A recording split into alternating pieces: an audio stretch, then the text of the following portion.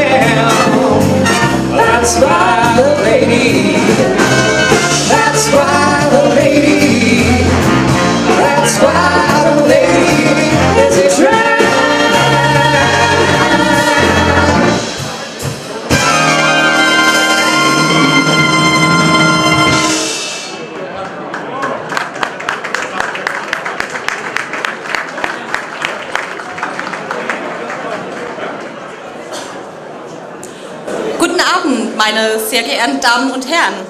Als stellvertretende Vorsitzende der FWG Neustadt und als Wahlmusbacherin freue ich mich ganz besonders, Sie heute Abend hier im kulturellen Herz Musbachs, dem Herrenhof, zum Neujahrsempfang unseres OB-Kandidaten Marc Weigel, ausgerichtet von den Freien Wählern Neustadts, der Pfalz und Rheinland-Pfalz, begrüßen zu dürfen.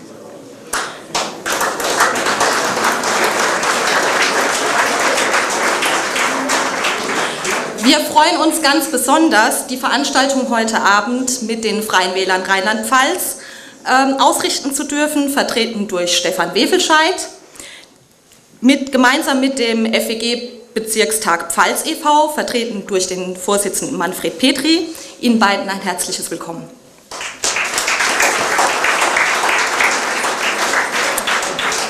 Des Weiteren äh, möchten wir einige Gäste auch noch mal ganz besonders begrüßen. Ja, der Einfachheit halber und der Schnelligkeit halber bitte ich Sie am Ende dann zu applaudieren. Wir begrüßen Bürgermeister Ingo Röttlingshöfer, OB-Kandidat Pascal Bender von der SPD. Wir begrüßen den Fraktionssitzenden der FWG im Bezirkstag Pfalz, Günther Mack, der den Landratskandidaten der Freien Wähler im Donnersbergkreis, Rainer Gut, mitgebracht hat. Wir freuen uns über den Besuch einer Abordnung der FWG Kusel, unter, unter anderem mit dem Bürgermeister von Wolfstein, Herbert Dilly, dem Fraktionsvorsitzenden im Kreistag Helge Schwab und natürlich auch unsere heute anwesenden Weinhoheiten, Mira Walter, amtierende Weinprinzessin hier in Musbach, und Nicole Friedrich aus Neustadt-Königsbach, amtierende pfälzische Weinprinzessin. Ja, wir freuen uns über die große Resonanz. Deshalb haben wir uns auch gar nicht getraut, eine Pressemeldung noch mal im Vorfeld herauszugeben. Umso mehr freut es uns natürlich, dass die Presse trotzdem unserer Einladung gefolgt ist. Ich freue mich, Frau Anke Herbert begrüßen zu, zu dürfen und Herrn Kreilinger von der Rheinpfalz.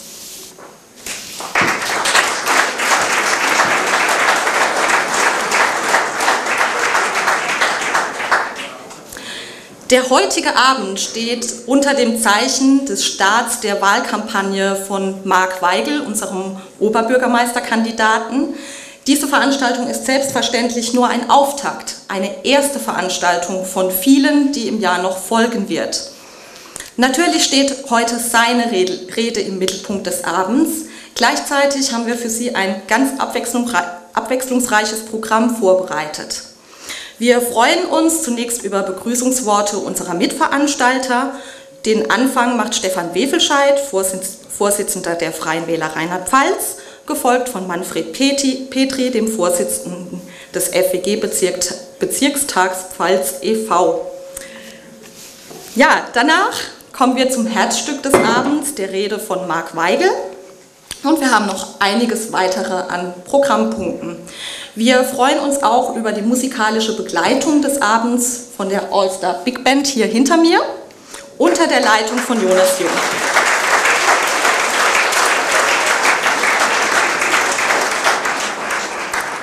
Die All-Star Big Band hat einen ganz, ganz, ganz besonderen Leckerbissen für uns vorbereitet. Aus seiner Zeit als Kultur, Kulturdezernent ist Mark Weigel natürlich stark in der Szene vernetzt und hat ein ganz, ganz besonderes junges Talent draufgetan. Aber mehr will ich an der Stelle jetzt auch noch gar nicht verraten. Lassen Sie sich einfach überraschen.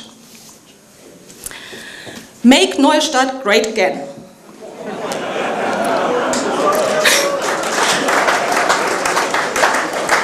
Das ist ein Slogan, der bei uns so gar nicht passen will.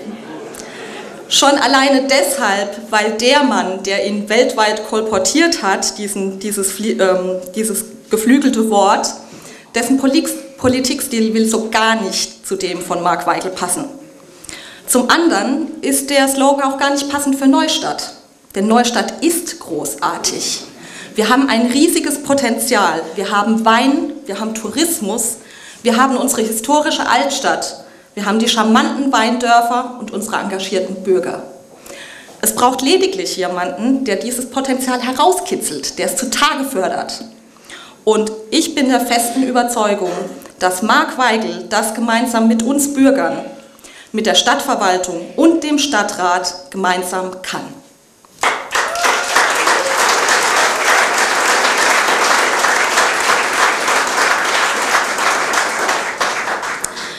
Ja, Sie alle haben es schon gemerkt, der Neujahrsempfang hier ist für Sie ganz kostenfrei, aber hoffentlich nicht umsonst.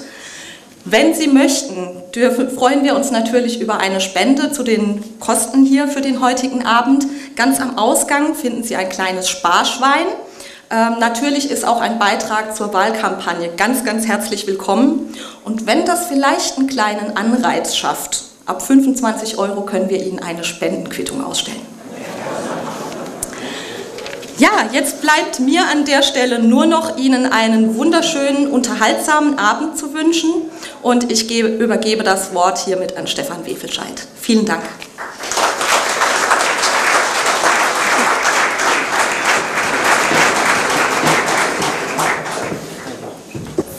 Meine sehr verehrten Damen und Herren, namens der Freien Wähler Rheinland-Pfalz darf ich Ihnen alles, allen ein gutes Neues und uns allen vor allen Dingen ein friedliches neues Jahr 2017 wünschen.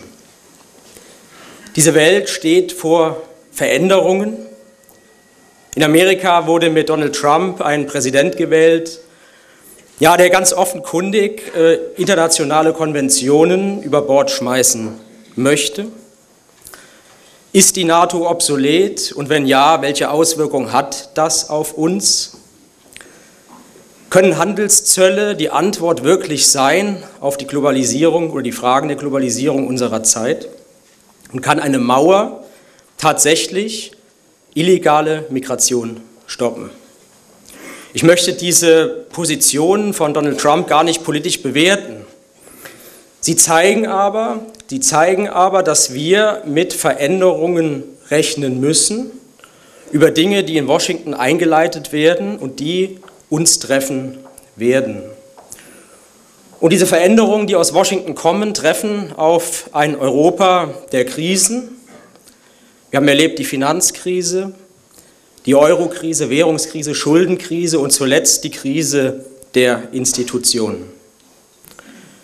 Wir erleben aktuell, dass Großbritannien sich von der Europäischen Union abwendet, seinen Blick ganz schnell und stringent Richtung Washington richtet. Die Frau May fordert einen harten Brexit. Man kann sich ausmalen, wohin die Reise geht. Anscheinend spielen die Großbritannier mit der Überlegung, ein weiterer Mitgliedstaat der Vereinigten Staaten von Amerika zu werden. Auf jeden Fall hat Europa keinen großen Stellenwert mehr auf der Insel. Und in Europa selbst finden wir die Lage auch etwas schwierig vor. Der Geist der Renationalisierung greift um sich. Ein Viktor Orban in Ungarn, ein, ein Jörg ein äh, Wilders in äh, den Niederlanden.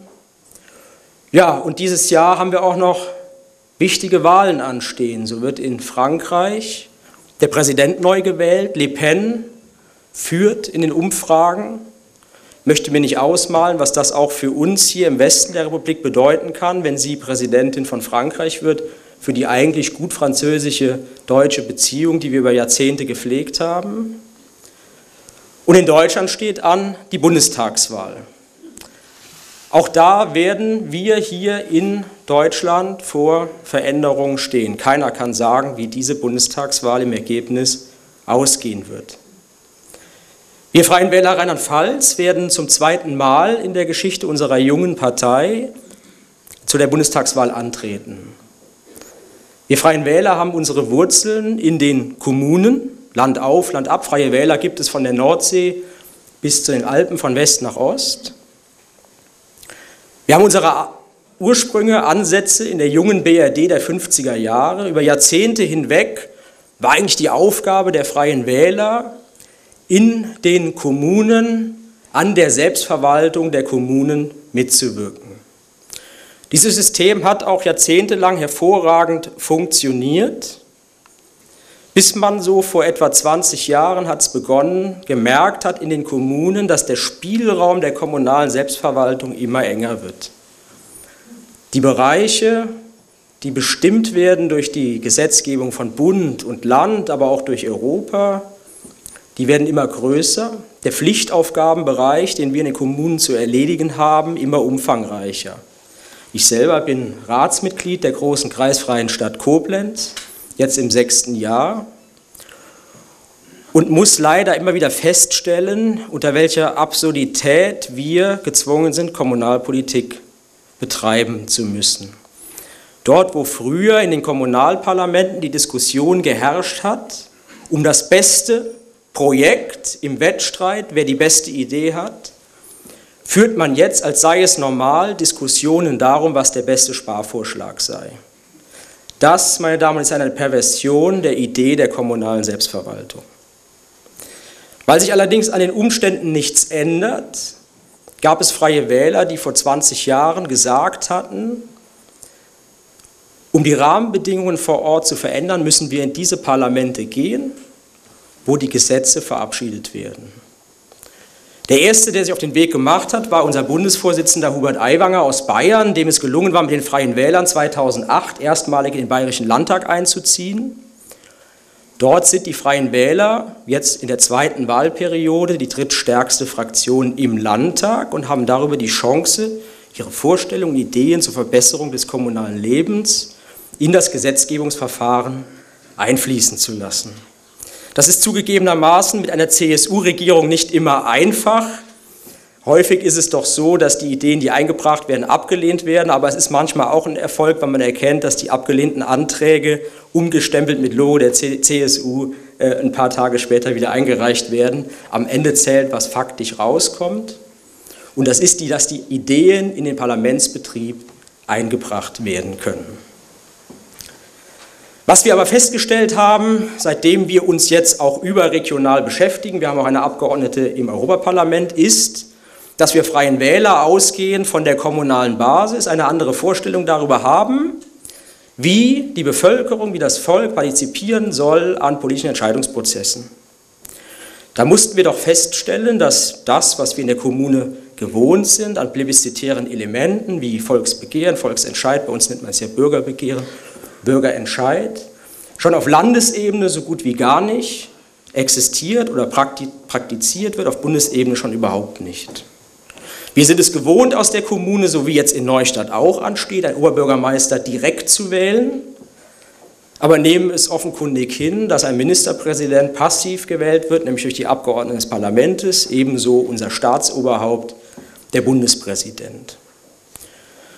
Wir glauben nicht, dass das ein sinnvolles Konzept ist im Aufbau unseres Staatswesens und Struktur, dass je höher es geht, je passiver die Beteiligungsmöglichkeiten des Volkes sein sollen. Wir glauben, dass es an der Zeit wäre, gewisse Öffnungen auch hinsichtlich der Beteiligung von Menschen im Politikbetrieb zuzulassen. Wir glauben, dass die Politikverdrossenheit, aber auch das Erstarken von rechten Kräften eine Ursächlichkeit darin findet, dass viele Menschen das Gefühl haben, reduziert zu sein auf ihre Stimmenabgabe alle vier Jahre, alle fünf Jahre und das war's. Folgerichtig haben wir die Entscheidung getroffen, zumindest für uns, zur anstehenden Wahl des Bundespräsidenten einen eigenen Kandidaten zu nominieren.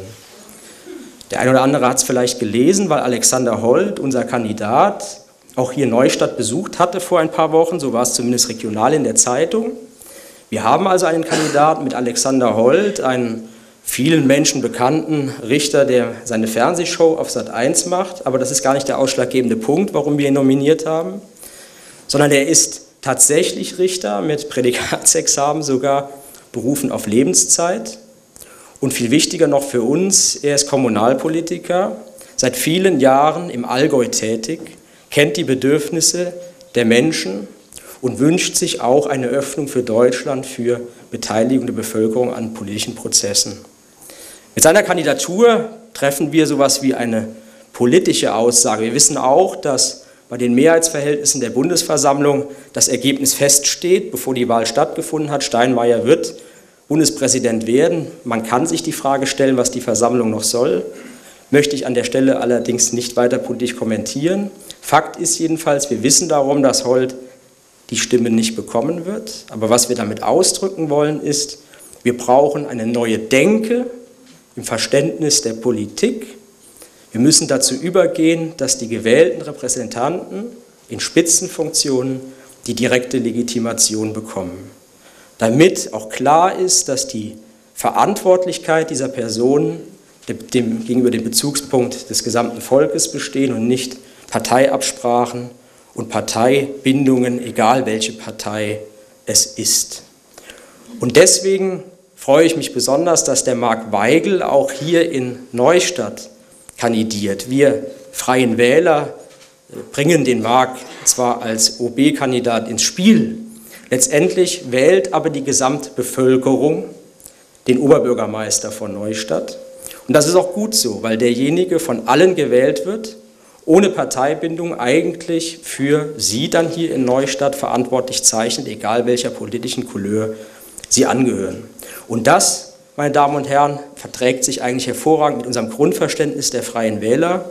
Und deswegen, lieber Marc, wünsche ich dir auch sehr viel Glück und Erfolg für die anstehende OB-Wahl und ich hoffe sehr, dass du als Gewinner hervorgehst. Also uns allen ein gutes neues Jahr.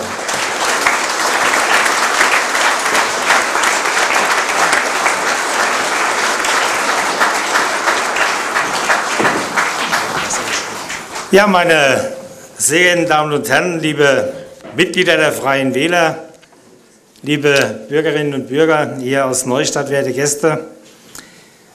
Zunächst einmal muss ich sagen, wenn man hier auf der Bühne steht am Rednerpult, ja, dann ist das schon ein tolles Gefühl, solch eine große Anzahl von Gästen hier bei unserem Neujahrsempfang begrüßen zu dürfen. Und äh, vor allen Dingen auch ein schönes Gefühl, zu Ihnen sprechen zu dürfen. Und ich darf Sie im Namen der Freien Wählergruppe hier in der Pfalz, hier versucht, auf der Ebene des Bezirksverbandes, des Bezirkstages, die Geschicke hier in der Pfalz zu lenken, zu entwickeln, recht herzlich begrüßen. Und ich darf Ihnen jetzt, nachdem ja äh, eigentlich nur ein paar Tage des neuen Jahres vergangen sind, Ihnen auch noch die besten Wünsche mitgeben für dieses neue Jahr. Ich darf Ihnen Glück und Gesundheit wünschen und natürlich auch Erfolg, ob das im familiären Bereich ist, im beruflichen und natürlich auch beim politischen Engagement. Und dieses politische und gesellschaftliche Interesse und Engagement für die Menschen hier in Neustadt und in der Pfalz und im Land und Bund und Europa das hat uns ja eigentlich heute Abend hier zusammengeführt.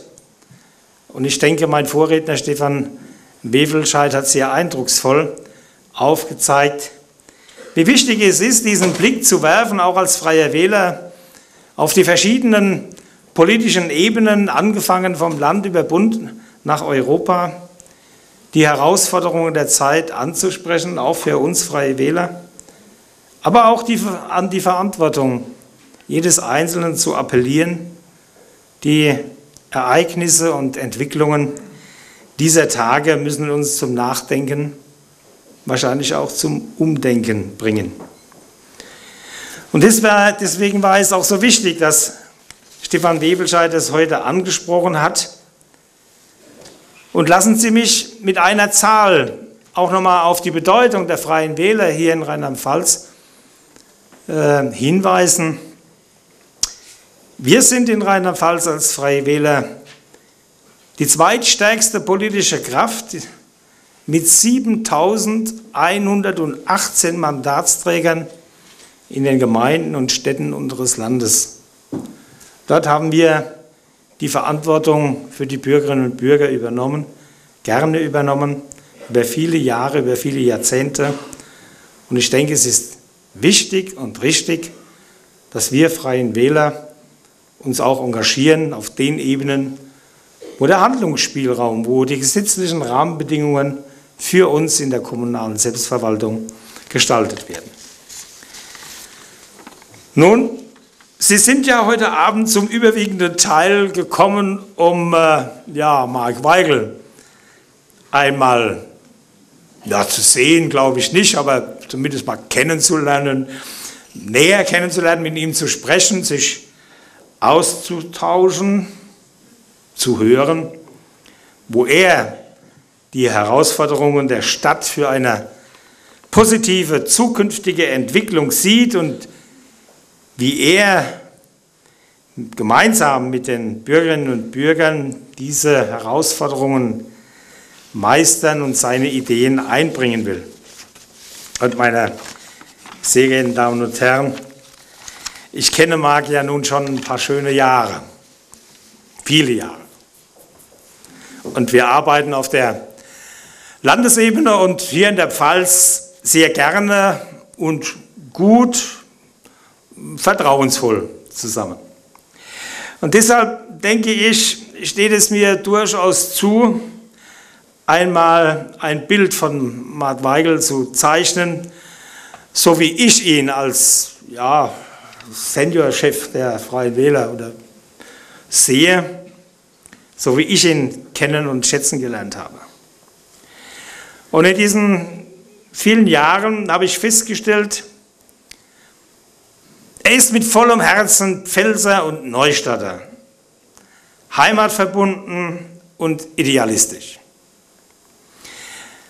Und ich weiß, wie viel Freude ihm sein Beruf und die Arbeit gerade mit jungen Menschen macht, aber auch